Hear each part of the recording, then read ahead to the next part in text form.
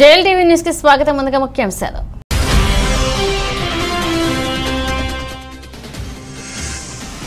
Palasa MRO కార్యాలయంలో లబ్ధిదారులకు పట్టాల పంపిణీ కార్యక్రమంలో పాల్గొన్న మంత్రి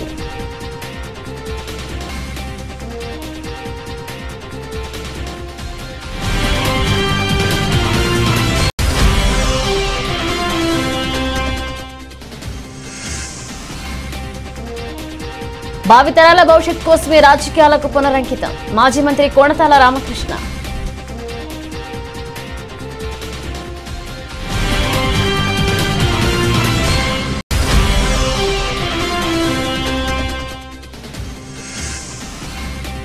చెలో భీమిలి సీఎం కార్యక్రమానికి పిలుపునిచ్చిన మంత్రి డాక్టర్ సిద్దిరి. త్వరలో నియోజకవర్గ స్థాయి ఎన్నికల శంకరావ సభ.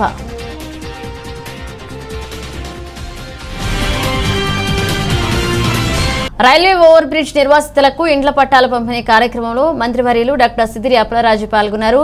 ఈ సందర్భంగా ఆయన మాట్లాడుతూ రైల్వే ఓవర్ బ్రిడ్జ్ కోసం మాట్లాడాలంటే ఒక పెద్ద గ్రంథం అవుతుందని ఒక పని చేయించడం ఇంత కష్టమా అని దీనిని చూస్తే తెలుస్తుందని రెండు వేల ఏడులో మొదలుపెట్టినటువంటి దీనిని నిర్మాణం పదహారు సంవత్సరాలు కావస్తున్నా పూర్తి కాకపోవడం అన్యాయమని ఏది ఏమైనా నిర్వాసితుల సహకారంతో పనులు ముమ్మరంగా జరుగుతున్నాయని అతి త్వరలో ఈ బ్రిడ్జ్ నిర్మించి ప్రజలకు అంకితం చేయడం జరుగుతుందని మంత్రి అన్నారు.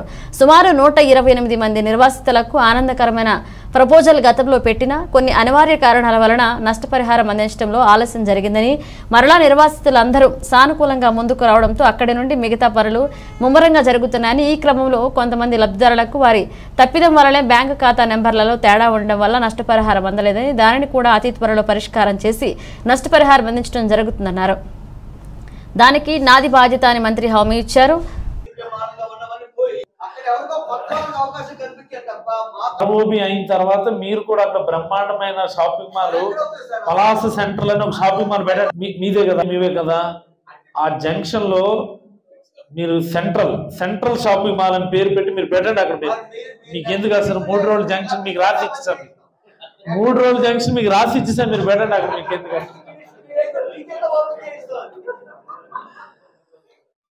అంటే మనం అంటే అలాంటి కొన్ని గట్టి స్టెప్స్ తీసుకోవడం వల్ల పెద్ద పెద్ద ఆర్గనైజేషన్స్ కూడా ఈరోజు మన ఊరికి వచ్చాయి. మొదట్లో భయపడ్డా నేను కూడా ఇవన్నీ పెద్ద పెద్ద ఆర్గనైజేషన్లు వచ్చేసినాయి. ఈ చిన్న చిన్న ప్లేయర్స్ అందరూ దెబ్బైపోతారేమో కావాలని కొంత భయం ఉండింది నాకు. బట్ మొన్న పండక్కి నేను రెండు రోజులు అలా తిరిగాను. రోడ్ల మీద ఏడు జరుగుతుంది చూద్దామని. అందరు కూడాను చాలా సంతోషంగా బ్రహ్మాండమైనటువంటి వ్యాపారం చేసుకున్నాను. బిల్డింగ్ ఓనర్కి లాభం ఉంది అక్కడ వ్యాపారం చేసుకునే వాడికి మంచి బ్రహ్మాండంగా వ్యాపారం అవుతుంది. బై అండ్ లార్జ్ మనం అది కష్టం ఏదో నాలుగు రోజులు లేట్ అయినా కానీ కంప్లీట్ చేసుకోవడం అనేది అలాస్క ఒక గొప్ప వరం అని సందర్భంగా మనస్ఫూర్తిగా మీకు అందరికీ మనం చేస్తాము. ఈ ఫ్లైఓవర్ అయిన తర్వాత మీరందరూ ఓట్లేసి గెలిపిస్తారు. గెలిపిస్తారు కదా? గట్టిగా. ఆ రోడ్లు కూడా మనము సెంట్రల్ డివైడర్ విత్ లైటింగ్ అనేది ప్రపోజల్ పెట్టినాం. కోసంపురం జంక్షన్ నుంచి బెండిగేట్ జంక్షన్ వరకు. కోసంపురం జంక్షన్ నుండి బెండిగేట్ జంక్షన్ వరకు. అదొకటి మనం కమర్షియలైజ్ చేయగలిగితే ఆ రోడ్డు ఊరికి కొంత బలం వస్తుంది మనకి. నువ్వు అప్పుడు ఇప్పుడేమని అన్నావంటే అందరూ అప్పుడు ముందే కోర్టులు గట్రా వేసేస్తారు. నా పని అయిపోతుంది ఇక్కడ. అందుకని ఇవన్నీ ఎలా ఉంటాయంటే ఆల్ ఆఫ్ ఎ సడన్ అనమాట వన్ డే నోటీస్లో కొడేయాలి మనం అంతే కదా? One day notice one day నోటీస్లోనే చేయాలి అన్ని K T road one day నోటీస్లోనే చేయాలి. అలాగే ఇప్పుడు ఇటువైపు రోడ్డు కూడాను వాళ్ళందరికీ మార్కింగ్ చేసాం ఇచ్చాం ఇది జీజే కాలేజ్ వైపు రోడ్ ఇందిరా చౌక్ నుంచి ఇటువైపు కూడా. ఫిఫ్టీ ఫైవ్ ఫీట్ కానీ అది మనం మార్కింగ్ చేస్తాం అంటే అరవై అడుగులకి మనం మార్కింగ్ చేస్తాం. They are ready they are ready to give up their within that sixty feet road length but మేమే కొట్టలేదు. ఏంటి ఇది ఇది కంప్లీట్ అయితే తప్ప దాని మీదకి వెళ్ళకూడదని వెళ్ళలేదు. సో ఇంకొక రెండు నెలలు రెండు నెలల తర్వాత ఆ రోడ్ ఎక్స్టెండ్ చేస్తాం. దీన్ని పట్టుకునే కార్యక్రమం కూడా చేస్తాము. ఎందుచేతంటే మనం పోర్టు కనువుగా మనం ఇక్కడ ఒక నగరాన్ని తయారు చేసుకోవాలని మొదటి నుంచి కూడా మనం మాట్లాడుకుంటాం. దానికోసమని ఈ తిప్పలన్నీ అక్కడ నూట యాభై ఎకరాలతో స్మార్ట్ లేఅవుట్ ఆ పనులు కూడా అవుతున్నాయి. హైవే నానుకొని చూసారా? నూట యాభై ఎకరాలు మనం తీసుకున్నాం కదా. స్మార్ట్ లేఅవుట్ కానీ రోడ్ వర్క్స్ అవి కూడా స్టార్ట్ చేసాం అది కూడా. ఊరు ఇంకా అలాగా పెరుగుతుంది. అక్కడ రెండు వేల ఐదు వందల ఇల్లు జగనన్న లేఅవుట్ వేసాం. దాని ఎదురుగా టిట్కో కాలనీ అది కంప్లీట్ చేసాం. దాన్ని అనుకుని ఇంకొక తొమ్మిది వందల ఇళ్ళ పట్టాలు అక్కడ ఇచ్చాం. ఇది ఒక నూట యాభై ఎకరాల్లో స్మార్ట్ లా స్మార్ట్ లేఅవుట్ వేసాం. ఇంకొద్ది ముందుకు వెళ్తే ఒక అరవై ఐదు ఎకరాల్లో ఇండస్ట్రియల్ ఎస్టేట్ ఇచ్చాం. మొన్నే సీఎం గారు ఫౌండేషన్ వేశారు. అంటే ఇంకొక క్యాష్ క్లస్టర్ అక్కడ తయారవుతుంది సో ఇవన్నీ జరుగుతూ ఉన్నాయి కాబట్టి రాబోయే రోజుల్లో మీ అందరి సహకారం మరింతగా కావాలని మీ ఆశీర్వాదం కావాలని మేమైతే మిమ్మల్ని నమ్ముకున్నాం. మిమ్మల్ని అంటే ప్రజలు నమ్ముకున్నాం. మా మీద ఎంతలాగా దుష్ప్రచారం చేస్తుంటారో మీకు తెలుసు. నా లైఫ్ స్టైల్ ఏంటో కూడా మీకు తెలుసు. కాబట్టి అర్థం చేసుకొని ఆశీర్వదించమని మనస్ఫూర్తిగా కోరుతూ మీకైతే ఇప్పుడు అందరికీ టోటల్ వన్ ట్వంటీ ఫైవ్. అందరికీ కూడా సైట్స్ అయితే రెడీ చేసాం. ఎక్కడైనా ఏదైనా కన్ఫ్యూజన్ ఉంటే మీరేం కన్ఫ్యూజ్ అయిపోవాల్సిన అవసరం లేదు. నేను ఇక్కడే ఉంటాను మీ పండ ఇక్కడే ఉంటాడు మీ చైర్మన్ గారు ఇక్కడే ఉంటారు.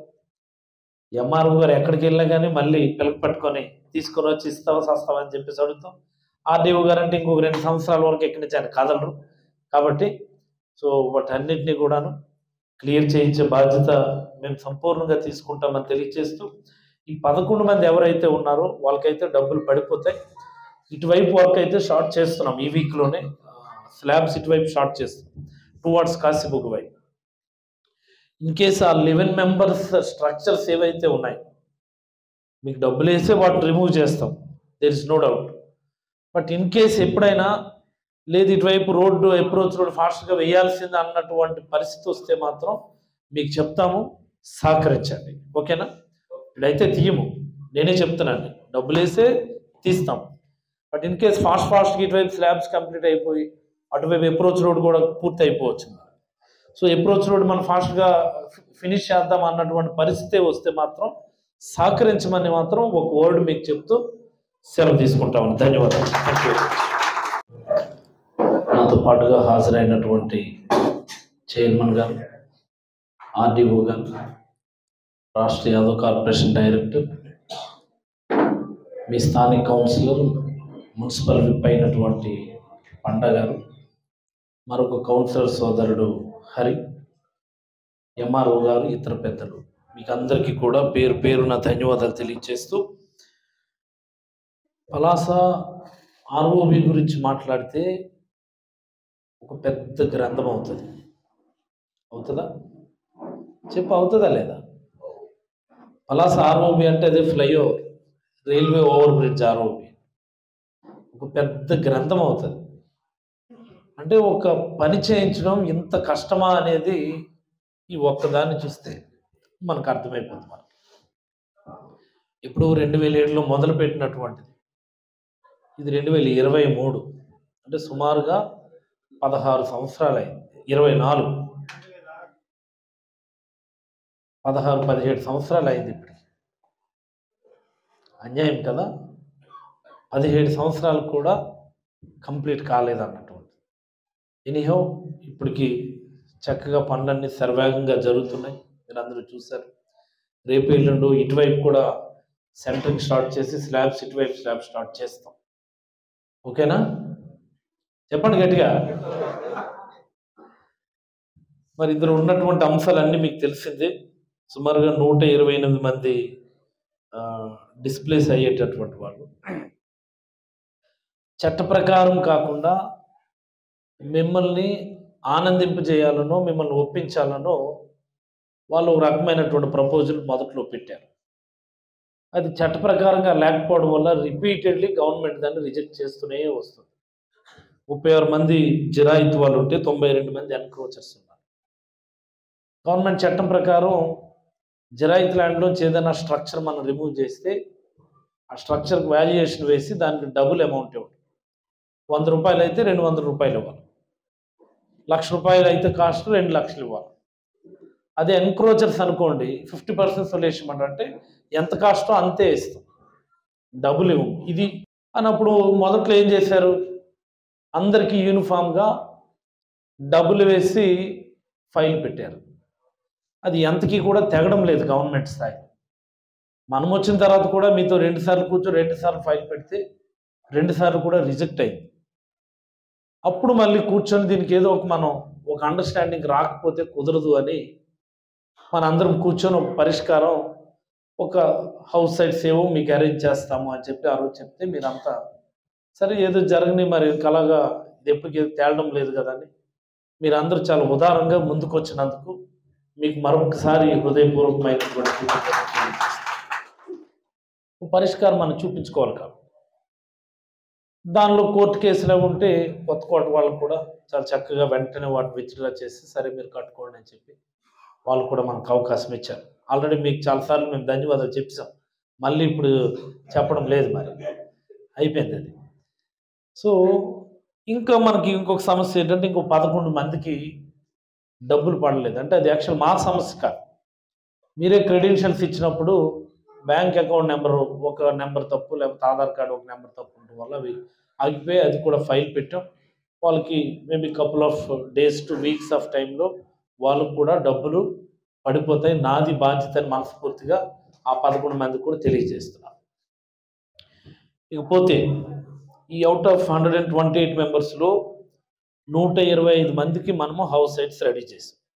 ఆ ముగ్గురు ఏంటంటే గవర్నమెంట్కి సంబంధించిన ఆర్గనైజేషన్స్ ప్లేస్ ప్రైవేట్ కాదు పోస్ట్ ఆఫీసు అవి ఇవి వాటికి సంబంధించినటువంటివి.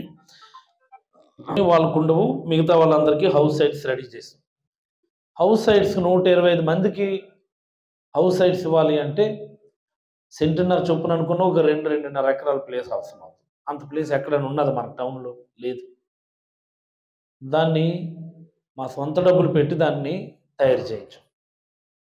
ఎంఆర్ఓ ఒక రూపాయి ఇవ్వలేదు మాకు. ఈ ఆర్డీఓ గారంటే పోనీ ఇప్పుడు వచ్చారు. ఇంతకు ముందున్న ఆయన అంతకు ముందున్న ఆయన ఎవరు ఇవ్వలే. ఎన్నిసార్లు టూ హండ్రెడ్ మెషిన్ అది బ్రేక్ డౌన్ అయిందో. అంటే మరి చే- ఇంకా కొంత ప్లేస్ ఉంది అక్కడ మనం చేస్తే. ఇంకా అక్కడ కొంత ప్లేస్ ఉంది మనం చేస్తే. కాకపోతే మరి ఆ రాహి కట్ చేయడం మరి సాధ్యం. విసిగిపోయి వదిలేసి మిగతా ప్లేస్ ఇంకెక్కడో చేయను ఆయన అని చెప్పి ఎంఆర్ఓకి చెప్తే కొంతమందికి వేరే దగ్గర ప్లేస్ మిగతా వాళ్ళందరికీ ఇక్కడ ప్లేస్ రెడీ చేయడం జరిగింది. అర్థమైంది కదా? ఎప్పుడో మళ్ళీ ఓపుకోండి మళ్ళీ మీ అందరి ఆశీర్వాదంతో ఎమ్మెల్యే గెలిస్తే దాన్ని మళ్ళీ కొద్దిగా చదువు చేసి మీకే ఇస్తాం అక్కడ కూడా. ఇబ్బంది మాకు సరిపోలేదు మా శక్తి సరిపోలేదు.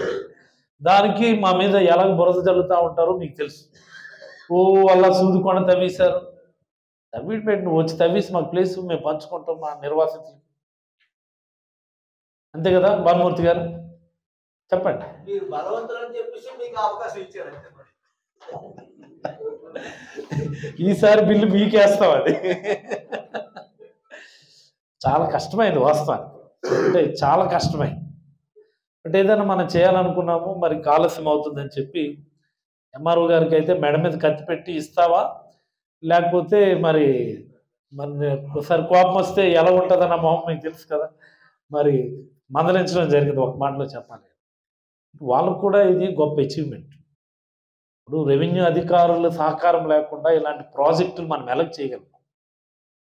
ఈరోజు ఎన్ని ప్రాజెక్టులు ఆర్ఓబి పట్టాలు ఎక్కించాం. కేటీ రోడ్ కంప్లీట్ చేసుకోగలిగాం. కేటీ రోడ్ కంప్లీట్ చేయడం అంటే ఏంటి? రోడ్ వేయడం కాదు కదా. కట్ చేయడం. ఒప్పుకుంటారు జనాలు? నీకు ఒక ఇరవై అడుగుల షాప్ ఉంటుంది. ఆరు అడుగులు నేను కట్ చేసేస్తానంటే నువ్వు ఒప్పుకుంటావా? కానీ పలాస ప్రజలు ఇచ్చినటువంటి సహకారం మరువు లేనిదని మనస్ఫూర్తిగా ఎవరికి రాదు ఈ అవకాశం. ఎవరికి ఇవ్వరేమో నాకు తెలుసు. ఇంకో నాయకుడు ఎవడో వచ్చి నేను నీ ఇల్లు షాపు కట్ చేసేస్తాను రోడ్ ఎక్స్టెండ్ చేస్తాను అంటే ఒక్కడు కూడా ముందుకు రాడు. కానీ ఈరోజు ఇదిగో మా చైర్మన్ గారు ఇక్కడే ఉన్నారు. మరి ఆయన ఏం చెప్పాడో పురప్రముఖులకు తెలియదు కానీ ఇంటింటికి తిరిగాడు పది ఇరవై మంది పెద్దలు బీసీ రోడ్డు టీఆర్ఆర్ కళ్యాణ మండపంలో వైసీపీ ముఖ్య నాయకుల కార్యకర్తల సమావేశం ఆదివారం నిర్వహించారు. ఈ సమావేశానికి ముఖ్య అతిథిగా ఎమ్మెల్యే తిప్పల నాగిరెడ్డి నియోజకవర్గ ఇన్ఛార్జి ఉరుకోటి రామచంద్రరావులు పాల్గొని మాట్లాడుతూ ఈ నెల ఇరవై ఏడవ తేదీన భీమిలి నియోజకవర్గం నిర్వహించే ఎన్నికల శంకారావ కార్యక్రమానికి పెద్ద సంఖ్యలో పార్టీ అభిమానులు కార్యకర్తలు నాయకులు ఇతర పార్టీ కుటుంబ సభ్యులు అందరూ పాల్గొని జయప్రదం చేయాలని పిలుపునిచ్చారు. ఈ కార్యక్రమంలో మాజీ ఎమ్మెల్యే తిప్పల గురుమూర్తిరెడ్డి వివిధ వార్డుల కార్పొరేటర్లు తిప్పల వంశీరెడ్డి బొడ్డు నరసింహపాత్రుడు భూపతిరాజు సుజాత ఇమ్రాన్ రాజాన రామారావు జిల్లా రాష్ట్ర నాయకులు వివిధ శాఖల డైరెక్టర్లు వివిధ వార్డుల అధ్యక్ష కార్యదర్శులు ఇన్ఛార్జీలు పార్టీ ముఖ్య నాయకులు కార్యకర్తలు అభిమానులు పాల్గొన్నారు. జరిగిన మనకి మనం కూడా కీలక పాత్ర పోషించామనే పేరు ప్రఖ్యాతి తెచ్చుకున్నాం. ఆ రకంగా మీరందరూ పార్టీ పెట్టిన లగాయత్తు నేటి వరకు కష్టపడి పనిచేశారు. కష్టపడి పనిచేసి ఇవాళ పార్టీకి అధికారంలో తీసుకొచ్చి జగన్ గారిని సీఎం చేసుకున్నాం. జగన్ గారు సీఎం అయిన తర్వాత అసలు రాజకీయ చరిత్రనే మరి తిరగదోసాడు ఆయన మార్పు తీసుకొచ్చాడు. నాకు ఒక అవకాశం ఉండి మరి ఎలక్షన్ రణబేరిని మోగించినందుకే మన ముఖ్యమంత్రి వర్యులు జగన్మోహన్ రెడ్డి గారు వస్తున్న సందర్భంగా మన ముప్పై నాలుగు నియోజకవర్గాల నుంచి మూడు జిల్లాలు ఇప్పుడు ఆరు జిల్లాలు అయింది. ఈ ఆరు జిల్లాల నుంచి కూడా ఒక్కొక్క నియోజకవర్గం నుంచి పదివేల మందిని తక్కువ కాకుండా నాయకుల్ని వైఎస్ఆర్ కుటుంబ సభ్యుల్ని తెమ్మన్నారు. డాక్రా సంఘం మహిళలు కానీ ఆర్పీల ద్వారా పోగేసి కానీ అలాంటివి తేవద్దని కరాఖండిగా చెప్పారు. ఇది కార్యకర్తలు ఉద్దేశించి ప్రసంగించినటువంటి జగన్మోహన్ రెడ్డి గారి స్పీచ్ని కార్యకర్తలందరూ కూడా విని ఆ సందేశాన్ని నియోజకవర్గాలకు పట్టుకుపోయి దాన్ని జయప్రదం చేయాలంటే ప్రతి ఒక్క కార్యకర్త వైఎస్ఆర్ కుటుంబ సభ్యులు. స్టేట్ నుంచి వార్డు వరకు ఉన్నటువంటి ఆఫీస్ బ్యాలెన్స్తో పాటు ప్రజల చేత ఎన్నుకోబడిన ప్రజాప్రతినిధులు అందరూ అలాగే ప్రభుత్వం చేత నియమించబడినటువంటి డైరెక్టర్ పోస్టులు కానీ మరి భావితరాల భవిష్యత్ కోసమే రాజకీయాలకు పునరంకితం అవుతున్నట్లుగా మాజీ మంత్రి కొణతాల రామకృష్ణ పేర్కొన్నారు. ఉమ్మడి విశాఖ జిల్లా వ్యాప్తంగా ఉన్న తన అనుచరులు అభిమానులతో జిల్లా కేంద్రం అనకాపల్లి పట్టణంలో పెంటకోట కన్వెన్షన్ హాల్లో ఆదివారం కొణతాల సమావేశమయ్యారు.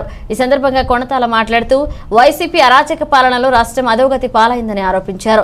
వైసీపీ ప్రభుత్వం సీఎం జగన్మోహన్ రెడ్డి అసమర్థ పాలనతో రాష్ట్రం దివాలా తీస్తుందని ఆందోళన వ్యక్తం చేశారు. ప్రస్తుతం రాష్ట్రంలో ఏ ఒక్కరికి స్వేచ్ఛ లేదని వారన్నారు. తాను రాజకీయాలు విరమించుకుందామని భావిస్తున్న తరుణంలో రాష్ట్రంలోని భయంకర పరిస్థితుల దృష్ట్యా భావితరాల భవిష్యత్ కోసం తిరిగి రాజకీయాల్లో కొనసాగాలని నిర్ణయించుకున్నట్లుగా ఆయన వెల్లడించారు.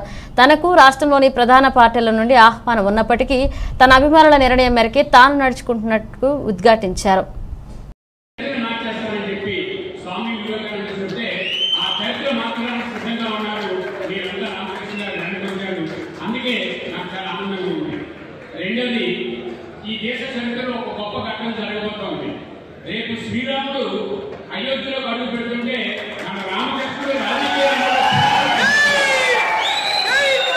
శ్రీరాముడు రాముడు ఎంత వస్తుందో రేపు రామకృష్ణ గారి విజయం సాధించడం కూడా అంతే అవసరం చెప్పి మీకు సందర్భంగా తెలియజేస్తున్నాను నేను లోక్సత్తా పార్టీ రాష్ట్ర అధ్యక్షుడిగా ఉన్నాను జయప్రకాష్ నారాయణ గారు నన్ను రాష్ట్ర అధ్యక్షుడిగా నియమించిన తర్వాత ఇప్పటికి జయప్రకాష్ నారాయణ గారితో ఇరవై ఐదు సంవత్సరాలుగా నేను అడుగులు వేస్తున్నాను నేను పుట్టింది అనకాపల్లి కానీ నా స్వస్థలం విజయనగరం నేను పంతొమ్మిది వందల ఎనభై మూడు నుంచి రాజకీయాల్లో చాలా చురుగ్గా ఉన్నాను ప్రభుత్వ ఉద్యోగాన్ని పక్కన పెట్టి రాజకీయాల్లోకి వచ్చినటువంటి వ్యక్తిని నేను మొత్తం సత్యనారాయణ వీరభద్ర స్వామి అందరినీ ఎంఆర్ కాలేజీలో చదువుకున్న వాళ్ళమే నేను ఎంబీఆర్ కాలేజీలో చదువుకున్నాను నా ప్రాథమిక విద్య తుమ్మపాలలో జరిగింది ఆ తర్వాత పెద్ద స్కూల్లో జరిగింది ఆ తర్వాత ఎంబీఆర్ కాలేజీలో చదువుకున్నాను ఎంఆర్ కాలేజీలో చదువుకున్నాను కానీ మా తాతగారు బీసీ రతారా గారు అనకాపల్లి తొలి శాసనసభ్యుడు వారి కొడుకు కొడుకు నేను నేను జయప్రకాష్ నారాయణ గారి దగ్గరికి వెళ్ళిన తర్వాత మహాత్మా మన్నించు ఈ దేశాన్ని అనే ఒక స్లోగన్ చూసి నేను సైతం ప్రపంచానికి సముద్రనొక్కకి ఆహుతించాను నేను సైతం విశ్వ సృష్టికి అశోకటి దారబోతానన్న శ్రీశ్రీ మాటలాగా త్యాగం అంటూ చేస్తే మనసంటూ ఉంటే మనిషి అంటూ ఉండాలనుకున్నాను తర్వాత రామకృష్ణ గారితో అడుగు వేయాలని చెప్పి నేను నిర్ణయించుకున్నాను. మిత్రులారా ఇది చరిత్రను మార్చడానికి సమావేశమైనటువంటి సదస్సు ఎందుకు ఈ మాట చెప్తున్నానంటే పంతొమ్మిది వందల ఎనభై మూడు నాటికి ఎన్టీ రామారావు గారు రాజకీయాల్లోకి వచ్చినప్పుడు ఉత్తరాంధ్రలో చాలా మంది స్టార్వర్డ్స్ రాజకీయాల్లోకి వచ్చారు అటు అక్కడ ఎర్రనాయుడు కమినేని సీతారాం కళా వెంకట్రావు అశోక్ గజరాజు రఘు సింహాద్రి జీపీ అప్పారావు కేవీఆర్ స్పందనరాజు భవిష్యత్తు పోరాటం పిచ్చివాళ్ళతోటి భవిష్యత్తు పోరాటం సైతాలతోటి ఈ స్థితిలో మీరున్నారా లేదా అనే మనసు ఆయన ముఖ్యంగా ఉంది ఎందుకంటే జయప్రకాష్ నారాయణ గారు కొరతా రామకృష్ణ గారు కలిసిన తర్వాత జయప్రకాష్ నారాయణ గారు రాష్ట్ర విభజనలో జరిగిన పదమూడు మంది స్కాలర్స్ ఒక పుస్తకం రాయిస్తే ఆ పుస్తకాన్ని పార్లమెంట్ సభలో అంటే ఆంధ్ర భవన్లో ఒక పది లక్షల రూపాయలు ఖర్చు పెట్టి ఆయన సొంతంగా విడుదల చేయించారు మీకు అందరికీ తెలుసు రెండు సంవత్సరాల ఏకదాటిగా అనకాపల్లి గైరమ్మ పండుగ వదులుకొని మేమంతా కలిపి చాలా మంది వచ్చారు ఢిల్లీ వెళ్ళాం అదే కాకుండా ఉత్తరాంధ్రలో ప్రాజెక్టులన్నింటినీ తిరిగాం ఆయన కంఠశ్వాస ఎంత అంత కాదు ఆయన బాధ ఎంత అంత కాదు ఇందాక సోదరులు పాట పాడినట్టు సామాన్యుడికి జనహితానికి సంబంధం ఎక్కడ ఉంది ఉత్తరాంధ్ర అంటే అది కొంకాల రామకృష్ణ మాటలోనే ఉంటుంది కొంకాల రామకృష్ణ చేతలోనే ఉంటుంది ఇంత ఖర్చు పెట్టి ఇంత రాజకీయాలకు వ్యతిరేకంగా ఆయన పోరాటం చేస్తే ఒక్క రాష్ట్రంలో ఒక్క మంత్రి కానీ ఒక్క ఎమ్మెల్యే కానీ కనీసం పట్టించుకున్న పాపన పోవాలి. ఎందుకంటే ఆయన ఎవరికి శక్తి ఉన్న వాళ్ళు కాదు ఎవరు వింటున్న వాళ్ళు కాదు వాళ్ళెవరు సమాజాన్ని మార్పు తీసుకొద్దామన్న వాళ్ళు కాదు వాళ్ళెవరికి కూడా సమాజంలో మార్పు కావాలంటే ఇలా చేయాలని తెలిసిన వాళ్ళు కాదు. మీకు తెలుసు మా విద్యాశాఖ మంత్రి. ఆయన రిపబ్లిక్ డే అంటే పూర్తిగా అందరూ మీరు వాట్సాప్లో చూస్తుంటారు ఉత్తరాంధ్ర జిల్లా ఉమ్మడి జిల్లా ఒకసారి కొడతాల రామకృష్ణ గారు ఆయన ఎల్లాంటి నాయకుడు ప్రజాస్వామ్యం అందరికీ తెలుసు. దీనివల్ల ఏంటంటే ఇక్కడ మాది నాది మత్స్యకార గ్రామం ఎక్కపల్లి మండలం నేను సీనియర్ ఎక్స్ సర్పంచ్ మండలం లక్షల రామకృష్ణ గారి సమక్షంలో ఆంధ్రప్రదేశ్ రాష్ట్ర మాజీ ముఖ్యమంత్రి అయినటువంటి స్వర్గీయ రాజశేఖర రెడ్డి గారిని మూడు సార్లు మా మత్స్యకార గ్రామం గ్రామంలో తీసుకొచ్చినటువంటి ఘనత పట్ల రామకృష్ణ గారిని, మత్స్యకార గ్రామాలు ఎంతైనా తక్కువ ఎంతో తెలివితేటలు గొడవ అభివృద్ధి జరిగిందంటే ఒక కొడతాల రామకృష్ణ గారు ఆధ్వర్యంలో మాత్రమే జరిగింది. అందువల్ల ఏంటంటే కొడతాల రామకృష్ణ గారు ఈ మత్స్యకాలంలో కొంతమంది దుష్ట రాజకీయాలు భరించలేక ఈ రాజకీయాలకు దూరంగా ఉన్నారు. ఇప్పుడు వస్తారో ఆయన కోసం ఎదురు చూస్తున్నటువంటి ప్రజాస్వామ్యం అంతా ఇవాళ వచ్చి ఇంకా ఇంత సాంఘీభావం తెలపడం అనేది ఎంతో సంతోషకరమైనటువంటి విషయం. అందువల్ల ఏంటంటే మా మత్స్యకారుడు ఒక కొడతాల రామకృష్ణ గారే మత్స్యకారుడు. అయినంటే మత్స్యకారులు పనిచేసే విధానంలో ఉన్నటువంటి పరిస్థితి. అందువల్ల మత్స్యకారుల విషయం మత్స్యకారుల విషయంలో కానీ మా నక్కపల్లి పాయిగడపల్లి కాన్స్టిట్యూన్సీలో కానీ కొనతాల రామకృష్ణ గారు అంటే ఎనలేనటువంటి అవమానం ఉన్నందువల్ల ఆయన ఎక్కడున్నా ఆయన ఉన్నట్టు ఉన్నది రాజకీయాలకు కానీ దేనికి కానీ అతిథిగా దేనికి సమర్థమైనటువంటి విషయం మేము ఇక్కడ ఖమ్మాలని ముఖ్యంగా చెప్తున్నాను నేను రాజకీయాలు రాడు ఉత్తరాంధ్ర టైగర్ గవర్నమెంట్ సత్యనారాయణ నాయుడు గారు సంవత్సరం తర్వాత ఈ జిల్లా రెండు జిల్లాల్లో ఈ ఉమ్మడి విశాఖపట్నం జిల్లాలో అందరినీ రాజకీయ నాయకుల్ని ఎంతో మందిని రాష్ట్ర భవిష్యత్తు అభివృద్ధి అధోగతి పాలయ్యే పరిస్థితిలో ఒక ఇరిగేషన్ ప్రాజెక్టు పూర్తయినటువంటి పరిస్థితి లేదు. ఒక వ్యవసాయం అభివృద్ధి లేదు పారిశ్రామిక అభివృద్ధి లేదు. ఒకవైపు చూస్తుంటే స్టీల్ ప్లాంట్ ప్రైవేటీకరణ దిశగా నడుస్తూ ఉంది. ఇంకా ఎన్నో కార్యక్రమాలు ఉన్నాయి. ఇవన్నీ కూడా కుంటుపడేటువంటి పరిస్థితుల్లో ఉన్నాయి. వీటికి ఇప్పుడున్నటువంటి పరిస్థితులకి అనుగుణంగా ఈరోజు ఈ వ్యవస్థను మార్చాల్సినటువంటి అవసరం ఉంది. ఈరోజు కూలిపోతున్నటువంటి ప్రజాస్వామ్య వ్యవస్థను నిలబెట్టడానికి గతంలో ఏ విధంగా అయితే ఈ రాష్ట్రంలో ఉన్నటువంటి ముఖ్య పార్టీలన్నింటి నుంచి కూడా పిలుపు రావడం మన ఆత్మీయులందరూ కూడా యొక్క పొలిటికల్ కోసం అందరూ ఆత్మీయులు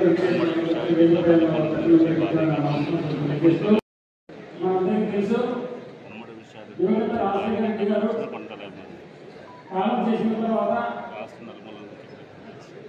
ఈ రాజకీయాలు ఎటువంటి మా- సమర్థవంతమైన పాలన అందించడానికి రామకృష్ణ గారు కొండ రామకృష్ణ గారు గారి నాయకులు ఉండాలి. ఆ రోజే కానీ అటువంటి కాలంతో ఒక్క నిమిషం ఆగి ఉంటే కుమార్ విధానంలో కొండ రామకృష్ణ గారు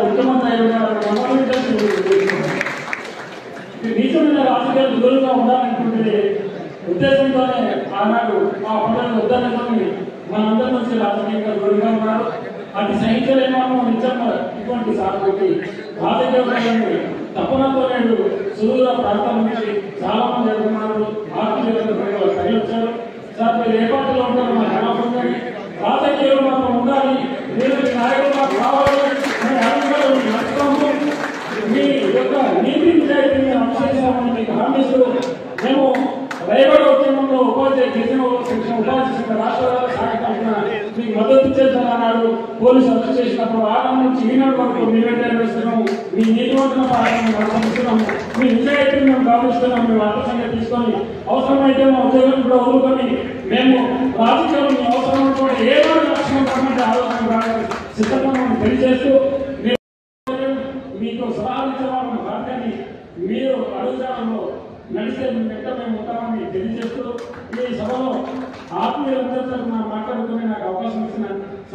ಎಲ್ಲರಿಗೂ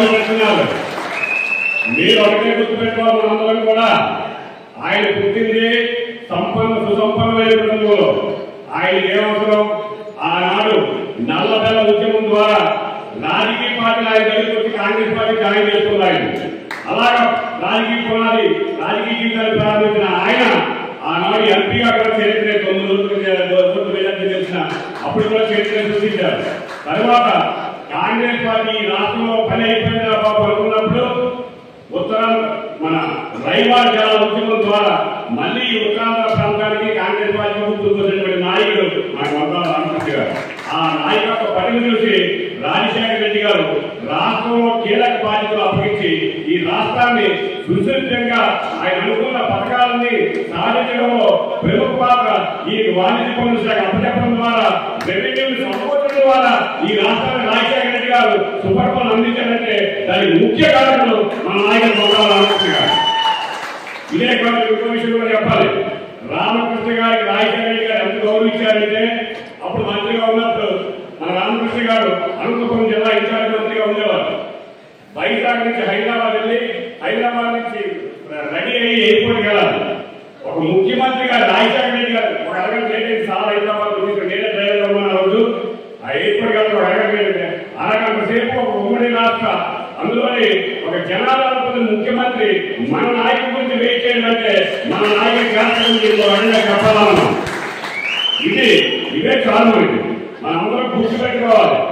ఆనాడు రాముడికి రాజ్యం అభ్యర్థులను పొద్దున్నే చెప్పిన దశరథుడు ఈవినింగ్ కల్లా నీ అరణ్యవాసం అంటే రెండు సమానంగా స్వీకరించారు మరి మొన్న మనలో బాధపడ్డాం. అయ్యో ఆ కడుమ వేసుకుని వెళ్ళిపోయింది పార్లమెంట్కి వెళ్ళిపోయేవారు కదా మా అందరూ తిరిగేవారు కదా. ఆయన కావాల్సిన పదవులు కాదు ఎక్కడం ఏ పార్టీలు కాదు ఏ పనులు చేసుకోవాలి ఆయన సిద్ధాంతం ఆయనది.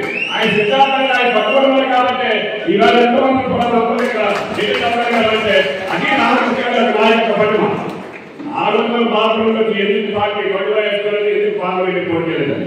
మరి ఈరోజు సంతోషంగా ఉన్నామా ఆ సైతాన్ పాలనలో పండుగ వేసుకుంటాం ఈయన కూడా భాగస్వామి అయ్యేవారు అది అది అవ్వదు కాబట్టి వాళ్ళు పండుగ వేసుకోలేదు పార్లమెంట్ కాలేదు.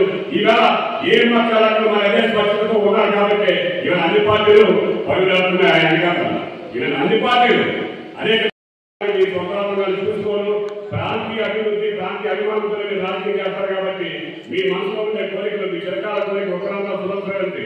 దానికోసం ఏ పార్టీ అయితే మీకు నమ్మకంగా సులభంగా సపోర్ట్ చేస్తారో ఆ విధంగా మీరు నిర్ణయం తీసుకోవాలని చెప్పి మిమ్మల్ని కోరుకుంటూ మేము ఈ సమావేశంలో నన్ను కూడా మాట్లాడే బాధ్యత కలిగినటువంటి ఇక్కడ కొనసాగాల్సిన అభిమానులందరికీ కూడా పేరు పేరు అందుకోవడం అవకాశం చెప్పుకుంటూ జై నాకు పోటీ చేసే అవకాశం వచ్చినప్పటికీ ఇవన్నీ డీటెయిల్స్ లోపల జరిగిన అక్కడ చెప్పడం నాకు ఇష్టం ఉండదు ఎప్పుడు కూడా.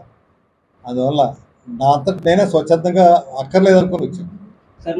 పా- ఏదో ఏదో పదవిలో ఉండి ఉండేవాడిని ఇప్పటి వరకు. అదేవిధంగా ఇక్కడ కూడా నేను ఎప్పుడు కూడా నేను జీవితంలో ఎప్పుడు ఎవరిని ఏ పదవి ఏది నాకు ఇది కావాలని అడగలేదు. భవిష్యత్తులో కూడా అలాగే ఉంటారనే విశ్వాసం నాకు ఉంది అలాగే ఉంటారు వాళ్ళు ఆ సర్వీస్ ఎలా ఉపయోగించుకుంటారు నేను అప్పుడు రాజశేఖర రెడ్డి టైంలో అసలు ఎంపీగా ఉన్నాను. ఎమ్మెల్యేగా రావాలి మనంతా కలిసి పోరాటం చేయాలి ఇక్కడ అని అన్నారు ఆయన మాట మీద అనకాపల్లిలో రాజకీయ పార్టీ అంతే కదా ఎవరైనా.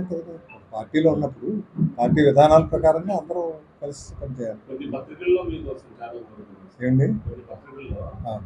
విధానం అయితే పక్కగా రామకృష్ణ గారు ఓకే కానీ నాలుగు ఈ టైం అప్పుడే మళ్ళీ వచ్చి ప్రజాస్వామ్యంలో మళ్ళీ అటు పెట్టి ఎలక్షన్ టైం కనిపిస్తున్నారని దీనిపై మీరు అంటే ఎవరు ఏమనుకున్నా నేను పోరాటాలు కూడా చేశాను ఏ పార్టీ లేకుండా.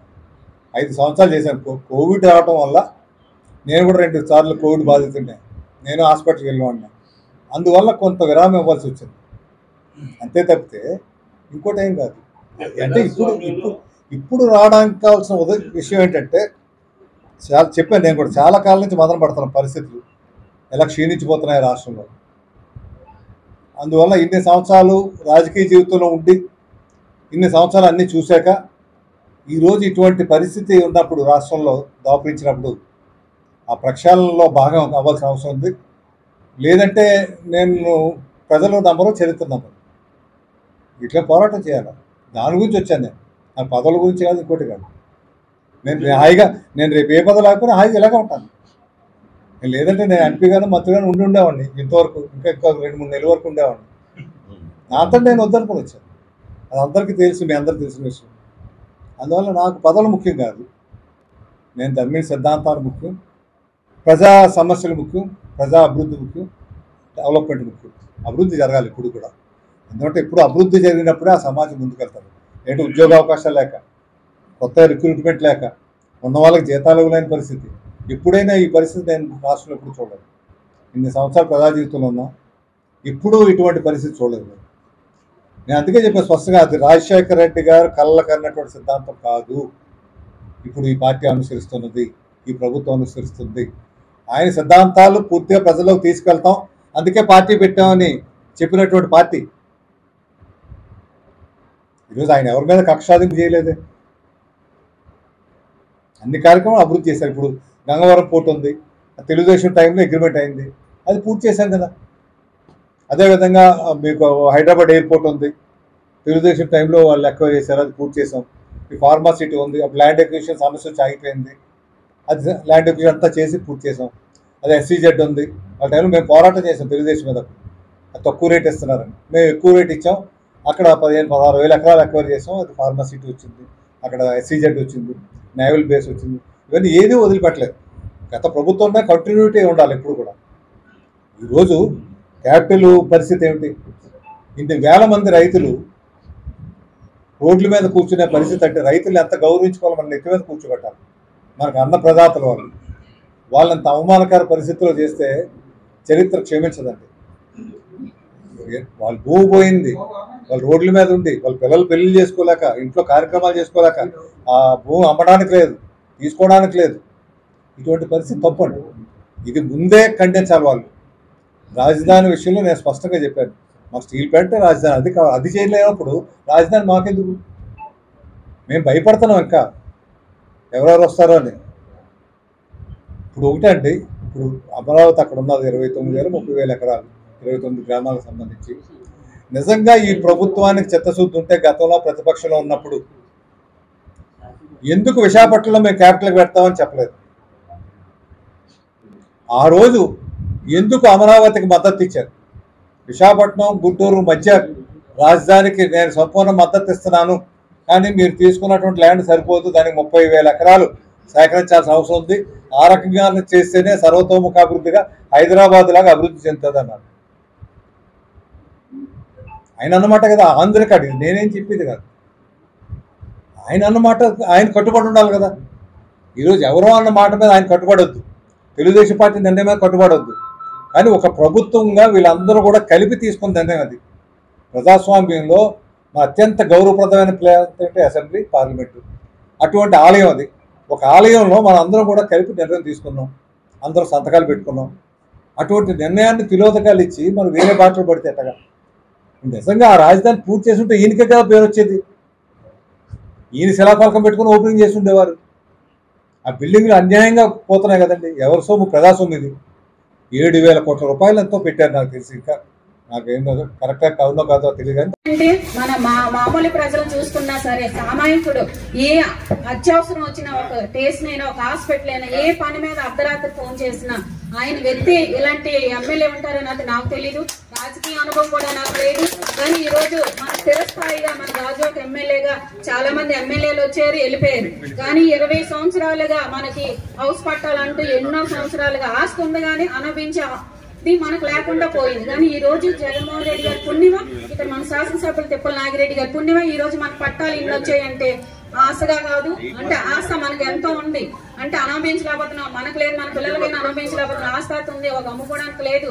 ఒక కష్టానికి సుఖానికి ఒక తాకట్టు పెట్టుకోవడానికి కూడా లేదు అని చెప్పి ప్రజలు నా మహిళగా ఎందుకంటే నేను అంతలా చెప్తున్నాను? ఒక మహిళ గృహిణి కాబట్టి ఇల్లు చక్కబెట్టే వాళ్ళు మహిళే కాబట్టి ఆ బాధ్యతగా నాకు కూడా తెలుసు కాబట్టి ఆ విలువ చెప్తున్నాను ఎందుకు? ఈ రోజు నలభై లక్షల నుంచి ముప్పై లక్షలు కూడా విలువైన సైట్ ఈ రోజు ఎమ్మెల్యే గారు మన చేతికి అందించారంటే మనకి మన మీటింగ్లో చెప్పారు. ఎవరు? కలెక్టర్ గారు చెప్పారు. ఎవరైనా ఎమ్మెల్యేలు వస్తే వాళ్ళు పర్సనల్ పనులు చేయించుకుంటారు కానీ మీ ఎమ్మెల్యే వస్తే మీ శాసనసభ్యులైన చెప్పండి నాగిరెడ్డి ఈ రోజు హౌస్ కమిటీ కోసం చిన్న గ్యాప్ దొరికినా సరే సీఎం సభలో వేసి గొలికి ఇంతలాగా ప్రెజర్ చేయడం వల్ల ఈ రోజు పట్టాలు వచ్చాయని చెప్పేసి మన ఎమ్మెల్యే గారి కోసం ఆ రోజు అంతలా చెప్పడం మీరందరూ గమనించారో లేదో కానీ నేను ఒక పాయింట్ అలా గమనిస్తూనే ఉన్నాను. అంటే అంత ప్రజల్లో అంతలాగా ఆయనకి ఇంతకు ముందు ఆయన సైట్ల కోసం కూడా తెలుసు విఆర్ఓ పనులు చేశారు కాబట్టి ఇక్కడ గంటల్లోని ఇక్కడ ప్రజలకు ఎంత ఉపయోగపడుతుంది అన్నది ఆయన తెలుసు కాబట్టి ఈ రోజు మనకి హౌస్ పట్టాలి అంత తేలిగ్గా చేశారు ఎందుకు అలాంటి ముఖ్యమంత్రి దగ్గర మనకి ఎమ్మెల్యేగా గాజాపు నియోజకవర్గానికి దొరకడానికి నేను సంతోషంగా చాలా గర్వంగా పార్టీకి ఒక విధి విధానాలు ఉండొచ్చు. పార్టీకి ఒక జెండా ఉండొచ్చు. పార్టీ మీద వైఎస్ఆర్ నాయకుడు మన దివంగత నేత ముఖ్యమంత్రి రాజశేఖర రెడ్డి గారు బొమ్మ ఉండొచ్చు. ఆ వైఎస్ఆర్ని ఎదుగుంటి సంధింటి రాజశేఖర రెడ్డి అనే పదాన్ని యువజన శ్రామిక రైతు కాంగ్రెస్గా రూపుదిద్దిన ఈ పార్టీని ఆ జెండాని నిలబెట్టే విధంగా గర్వంగా తెరుచుకునే విధంగా తలెత్తుకుని చూసే విధంగా ఈ జిల్లాలో ఎగిరింది అంటే కేవలం మా నాన్నగారి వల్లే. నాకు తెలిసినంత వరకు మాకు ఆ రోజు పార్టీకి కష్టకాలం జగన్మోహన్ రెడ్డి గారి కష్టకాలం అన్ని ఉండేటప్పుడు మనం ధైర్యంగా వెళ్ళి మనం ఆ కుటుంబానికి అండగా నించున్నాం చాలా మంది ఆ రోజుల్లో కద్దరు బట్టలు వేసుకొని వచ్చి ఎయిర్పోర్ట్లో నిల్చున్నారేమో గానీ నాగిరెడ్డి గారి కద్దరు బట్టలు కాదు ఉన్న బట్టలు ఇచ్చేస్తారు కానీ నాకు రాజశేఖర రెడ్డి గారి కుటుంబం అని చెప్పారు. కాబట్టి కాబట్టి నేను ఎక్కువ చెప్పలేకపోతున్నాను. ఇంకొక నాయకుడు అయి ఉంటే నా వాయిస్ నా స్పీచ్ ఇంకోలాగే వెళ్తుంది. ఎందుకంటే అక్కడ నాన్నగారు కాబట్టి నా తండ్రి గురించి నేను ఎక్కువ చెప్పుకున్నానేమో అనుకుంటాం. కానీ నేను ఏది చెప్పినా అది గుర్తు చేస్తానే తప్ప దాన్ని ఏదో కల్పిత పాత్రలు ఆ కల్పిత వాక్యాలు కలిపి నేను ఎత్తవలసిన అవసరం లేదు. ఎందుకంటే అది మీరే కదా. ర్యాలీ తీసుకోండి ఎవరు? మీరే కదా వచ్చింది మా ఎంత మా కుటుంబం వెంట వచ్చింది ఎవరు? మీ అందరం. మనం అందరం కలిసే ఈ పార్టీని జెండాని మనం ఈరోజు విశాఖపట్నంలో ఉన్నది. అంటే అది మనం. మరి ఇంత పెద్ద జగన్మోహన్ రెడ్డి గారు ఇంత ప్రజా సంకల్ప యాత్ర చేసినా విశాఖపట్నంలో ఈస్ట్ వెస్ట్ నార్త్ సౌత్ నాలుగు నాలుగు వైపులు ఎగిరిపోయినాయి. గాజువాక భీమిలియ గెలిచిందే దానికి ఖచ్చితంగా నాగిరెడ్డి గారి యొక్క గడప గడప కష్టమే ఆయన మోటార్లు అరిగిపోయేటట్టు ఎక్కారని ప్రతి ఒక్కరు చెప్పారు. ఆయన కష్టమే ప్రతిఫలమే. ఈ రోజు గాజువాక నియోజకవర్గానికి అలాంటి పవన్ కళ్యాణ్ పవర్ స్టార్ లాంటి కూడా మనం తోసేసి మనం లోకల్ హీరోస్ కింద నిలబడ్డాం. ఇది జగన్మోహన్ రెడ్డి గారు అన్న వాక్యం. నియోజకవర్గ స్థాయి పార్టీ క్యాడర్తో ప్రగతి భవన్ పలాసలో ఏర్పాటు చేసిన జనరల్ బాడీ సమావేశంలో మంత్రి డాక్టర్ సిదిరి అప్పలరాజు పాల్గొన్నారు. ఈ కార్యక్రమానికి ముఖ్య అతిథిగా శ్రీకాకుళం జిల్లా వైఎస్ఆర్ కాంగ్రెస్ పార్టీ ఎంపీ అభ్యర్థి పేరాడ తిలక్ హాజరయ్యారు. ఈ సమావేశంలో మంత్రి మాట్లాడుతూ ఈ నెల ఇరవై ఐదవ తేదీన భీమిలి వేదికగా జరగబోయే ముఖ్యమంత్రి వైఎస్ జగన్మోహన్ రెడ్డి సమావేశానికి మనందరం హాజరై. గతంలో ఏదైతే సామాజిక సాధికార యాత్ర జయప్రదం చేశామో అదే రీతిలో ముఖ్యమంత్రి కార్యక్రమాన్ని జయప్రదం చేయాలన్నారు. ఈ కార్యక్రమానికి ప్రతి బూత్ నుండి పదిహేను నుండి ఇరవై మందికి తక్కువ లేకుండా యువకులు బయలుదేరాలని ప్రయాణానికి కావాల్సిన అన్ని ఏర్పాట్లు చేయడం జరుగుతుందన్నారు. Enjoy what you are losing now అనేది. ఈ తొమ్మిది సంవత్సరాలు ఈ నాలుగు సంవత్సరాలు తొమ్మిది నెలలు మీరు ఏంటి ఎంజాయ్ చేశారు? పొరపాటు కానీ దెబ్బ పడితే what you are going to lose అంటే ఏది నష్టపోతారు అనేది మీకు ఆల్రెడీ మీకు అర్థమవుతూ ఉంటుంది మేము కూడా గతంలో మాదిరి గట్టిగట్టిగా దెబ్బలాడలేం మేము. నిజంగా అన్ని కూడా ఎలక్షన్ కమిషన్ పరిధిలోకి వెళ్ళిపోతూ ఉంటాయి ఒక్కొక్కటి ఒక్కొక్కటి. చెక్ పోస్టులన్నీ ఎలక్షన్ కమిషన్ పరిధిలోకి వెళ్ళిపోయినాయి. సార్ మా వాడు ఇల్లు బండి sir car sir tractor sir అది సార్ ఇది సార్ అంటే పొరపాటు కానీ దెబ్బ తగిలితే అంతే సంగతులు ఇంకా. మళ్ళీ మనం రాజుల్లాగా బ్రతకాలి అంటే మళ్ళీ మనం మళ్ళీ మనం రాజుల్లాగా బ్రతకాలి అంటే మనం గెలవాలి. గెలిచి తీరాలి. ఈ నియోజకవర్గమే కాదు ఆ పక్క నియోజకవర్గం. ఈ పక్క నియోజకవర్గం ఈ మూడు కాన్స్టిట్యున్సీస్ మనకి చాలా ప్రాధాన్యత మన మొన్నటి ఎన్నికలు అది పోయింది ఇది పోయింది మధ్యలో మనం ఒకరు గెలిచాం మనం. ఆ పక్కన సగం మంది చుట్టాలు ఉంటారు మీ అందరికీ కూడా. ఉన్నారు కదా? టెక్కల సంతబొమ్మల మండలంలో టెక్కల మండలం నందిగా మండలంలో సగానికి సగం మంది చుట్టాలు ఉంటారు. ఉన్నారా లేదా? నందిగా మండలం ఎవరెవరికి చుట్టాలు ఉన్న చేతులు ఎత్తండి ఒకసారి. సంతబొమ్మల మండలం ఎవరెవరికి చుట్టాలు ఉన్న చేతులు ఎత్తండి ఒకసారి గట్టి ఇటువైపు ఇచ్చాపురం కంచిలి సోంపేట మనందరికీ చుట్టాలు బంధువులు అందరూ ఉన్నారు మనకి. పని మొదలు పెడదామా?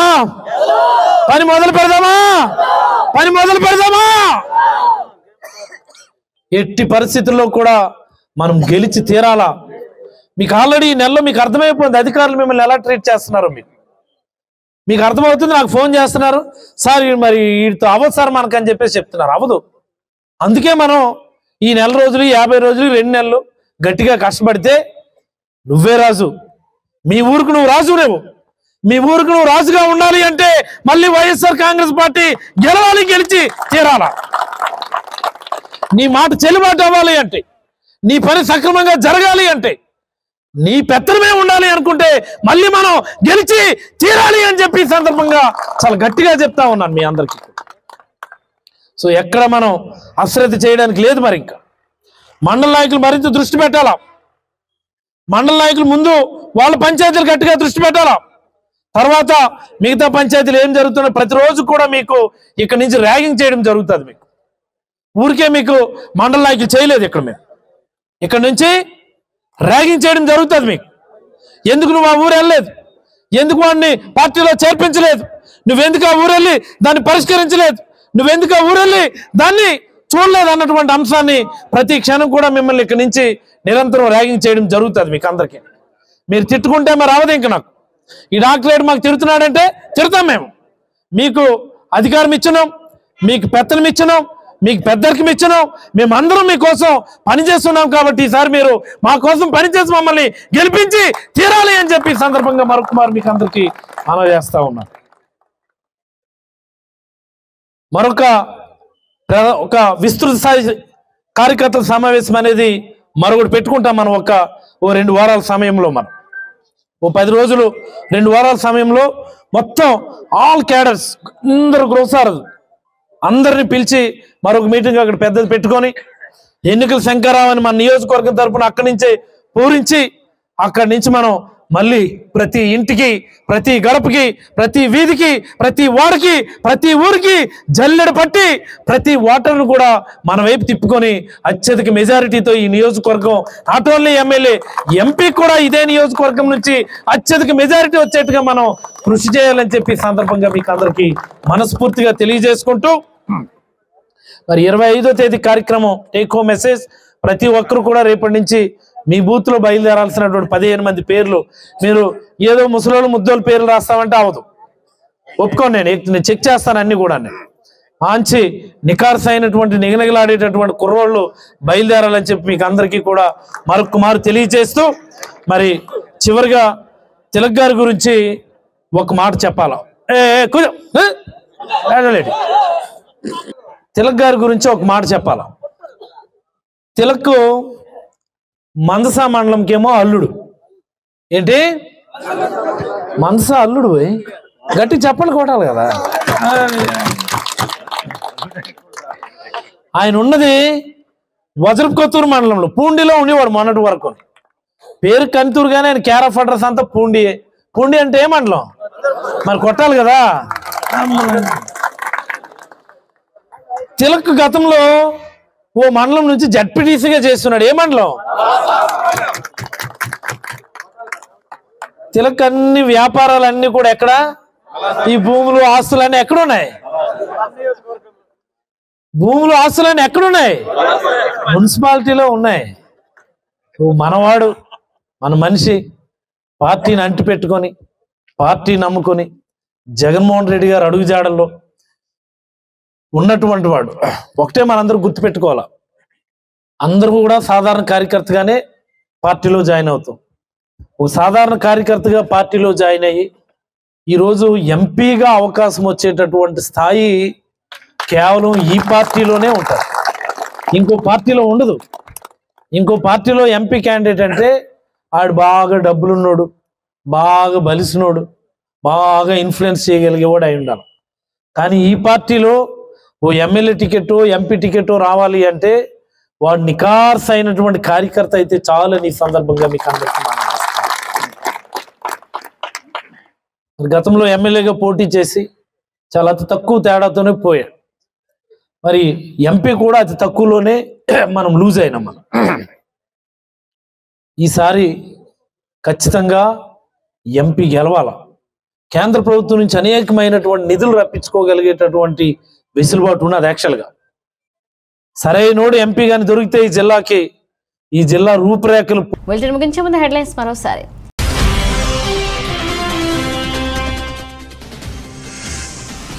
పలాస ఎంఆర్ఓ కార్యాలయంలో లబ్ధిదారులకు పట్టాలు పంపిణీ కార్యక్రమంలో పాల్గొన్న మంత్రి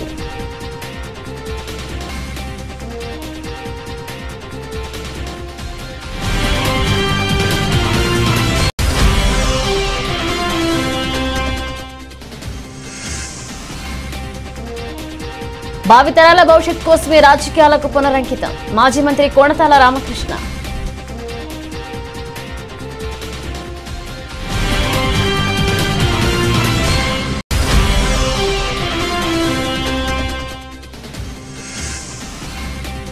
చెలో భీమిలి సీఎం కార్యక్రమానికి పిలుపునిచ్చిన మంత్రి డాక్టర్ సిద్దిరి. త్వరలో నియోజకవర్గ స్థాయి ఎన్నికల శంకరావ సభ.